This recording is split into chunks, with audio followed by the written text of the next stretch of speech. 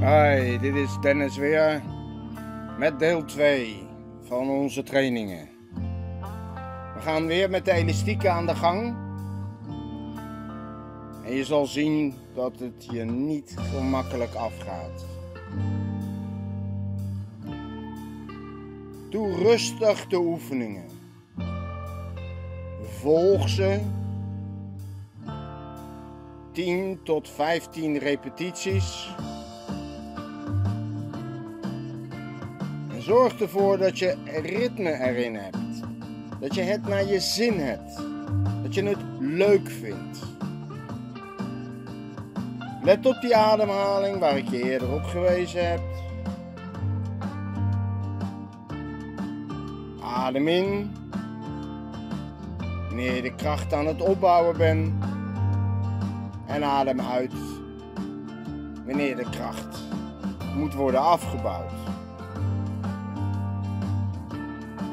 De bewegingen rustig. Concentreer je. Hou de spierspanning hoog. En ga er vooral vanuit dat je de oefening nauwkeurig uit gaat voeren.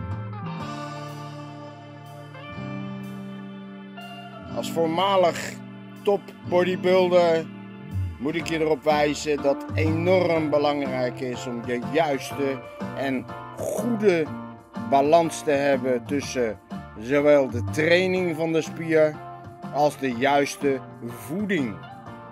Let op wat je eet. Eet het goed en af en toe, en niet altijd, heb je supplementen nodig. Kom gerust even langs voor dat advies. Zal ik je laten zien wat je nodig hebt en of je het nodig hebt. Want allereerst is je gewone eten van belang. Je kan geen power uit een doosje halen. Je moet de power halen uit je training.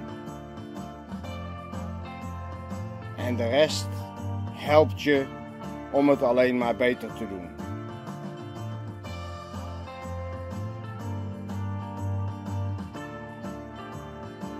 Dus nogmaals, nauwkeurig, strak en sterk. Dat moet je proberen. En je moet het volhouden. Regelmatig trainen.